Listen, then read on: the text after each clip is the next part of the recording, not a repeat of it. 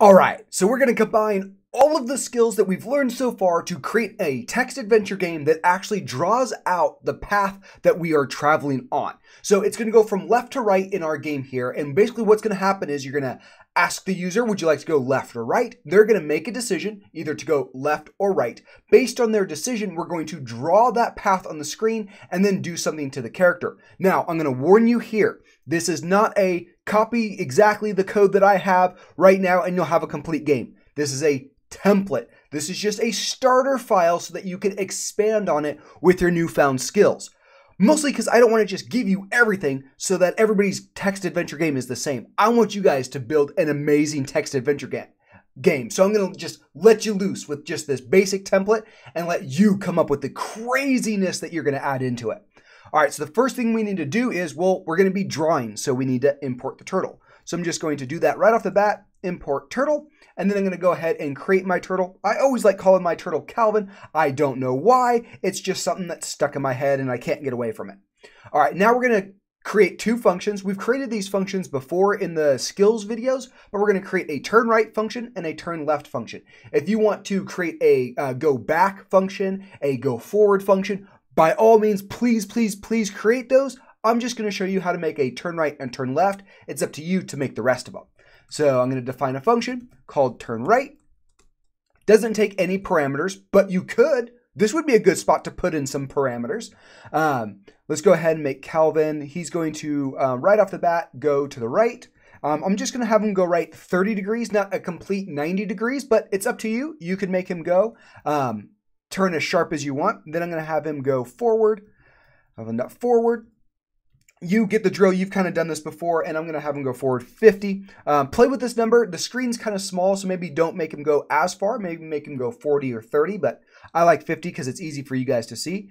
And then I'm just going to do this exact same thing. Copy, paste, and I'm going to make him go turn left, and then this is going to be changed to left. Cool. So I have two functions here. I have my turn right function and my turn left function. These are going to be called inside of my um, play function that I'm going to create next. So just make sure you're all cut up. We have turtle, created the turtle, and we've created two functions. You're going to create two more, one that's go straight and one that's turn back. Go ahead and create those now and then move into the next piece of the code that I type. So yours should have four turning functions. Okay. Now I'm going to define a new function. It's called play. This one is going to take some parameters. It's going to take a health parameter and a power parameter. We've done these before um, in another video, so these should be semi-familiar to you. Um, if not, go ahead and go back and watch that skill video. All right, and then we're going to go ahead and print out right off the bat, print out their health and again, remember we're adding or we're concatenating a variable that holds a number. So we're going to use commas for that. And then we're going to also print out their uh, power, which is their attack power. And that is going to be power. Again, commas, because we are using um, variables or parameters that hold numbers. All right, now after we've done that, we want to go ahead and ask them to pick a direction. So new variable called direction, and it's going to be some raw underscore input. You know the drill here. Nothing new. And uh, would you like to go left or right? Make sure you spell left or right here the same way that you want the user to spell it. So if you want them to use capital R's and capital L's, put those in here. And of course, if you have that straight and back functions, uh, go ahead and put straight and back in there as well. All right. Now we're going to go ahead and measure which direction. We're going to compare which direction that they chose. Um, if they chose right, well, then we're going to go ahead and print out um, something that happens to them if they go to the right. Um, for me, I'm just going to say uh, you went right. Do not write this. Do not write you went right. If I see that on the showcase, I'm going to, well, I can't downvote your project, but come on, be more creative than that. Put something like you encountered a dragon and he did 10 damage to you or something different in here. Again, I'm not telling you exactly what to type. I'm telling you kind of where you should go with this. All right, and then we're going to fire the turn right function because, well, they chose right, so we want to fire the turn right function. And then we're going to do an elif, and we're going to read whether or not the direction they entered in was left. Again, you will have more than two of these, but for me, I just have two.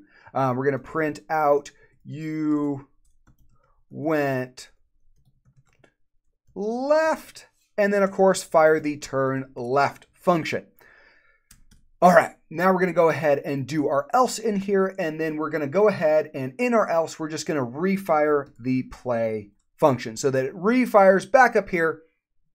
Um, ooh, but we need to put some parameters in here. Okay, so if they don't type something correct, then we're going to go ahead and um, fire a play function, but we're going to go ahead and give them their same health and same power that they started with. No, you know what? If you don't pick a direction, you stand there, you get bored, and you lose 10 health. All right. And now we're just going to go back to the front and we're going to go ahead and call our play function. They're going to start out with 100 health and 50 power. All right. So again, this is just a template. This is just something for you to follow along with to start your game. Your game is going to be better than this. It should be better than this. It better be better than this because I'm not very good at this. You are way more creative at telling stories than I am. Let's go ahead and run our code.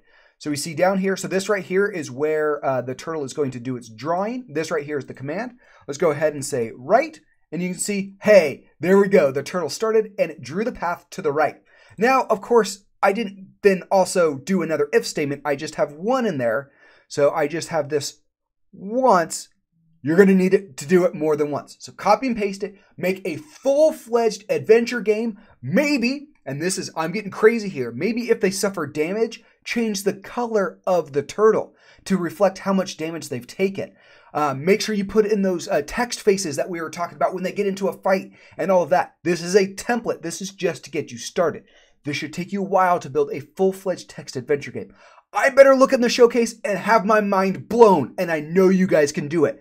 Blow my mind on the showcase and build something amazing with this template.